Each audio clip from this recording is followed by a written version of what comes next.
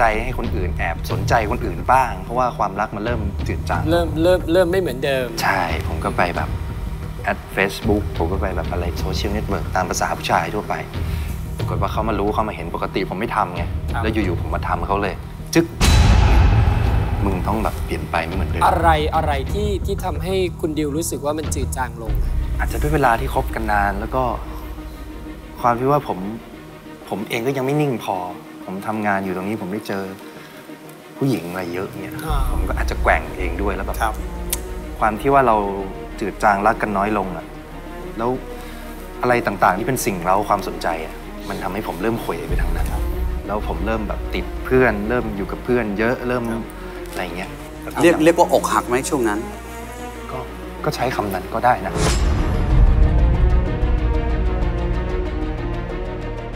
ตอนนั้นผมรู้สึกว่ามัน ก็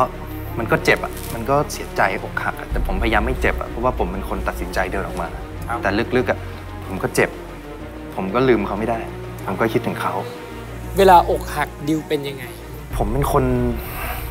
พูดน้อยเป็นคนไม่ค่อยพูดกับใคร ผมจะเก็บปัญหา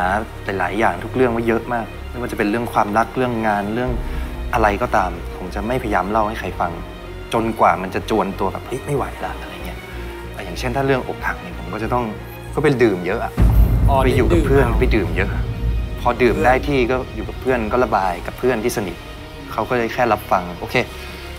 เขารับฟังเราก็สบายใจขึ้นมาหน่อย เช้าขึ้นมาก็เป็น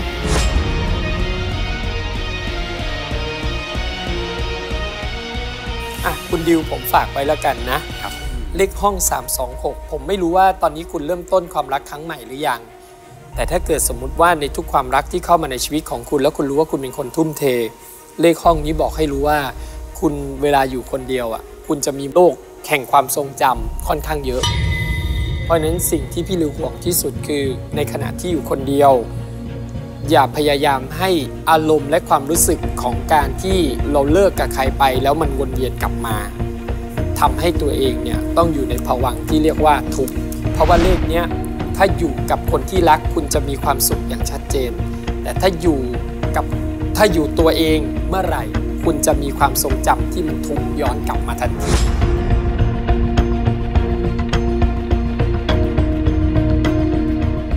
เอ่อจริงๆ ตอนนี้ก็ยังไม่ลืมนะ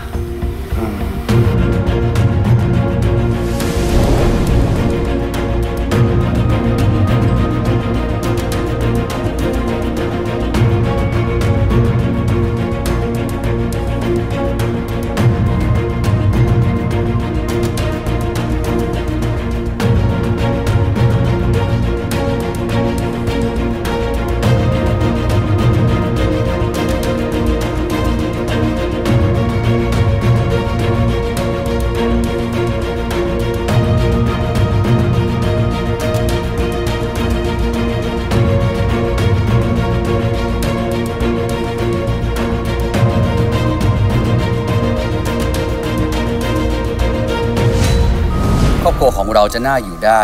ก็ด้วยคนในครอบครัวทุกคนพยายามทำตัวเป็นเกราะป้องกันเรื่องราวที่ไม่ดีให้แก่กันครับ แต่บางคนต้องมาเสียคนรักไป เพียงเพราะความโลภและอารมณ์ชั่ววูบของคนที่ไม่ดี ดังนั้นเราก็ควรจะช่วยดูแลตัวเอง และคนที่คุณรักให้ดีที่สุดเท่าที่ทำได้ครับ อย่าให้สิ่งที่เลวร้ายเล็ดลอดเข้ามาทำความวิบัติให้กับชีวิตของคุณ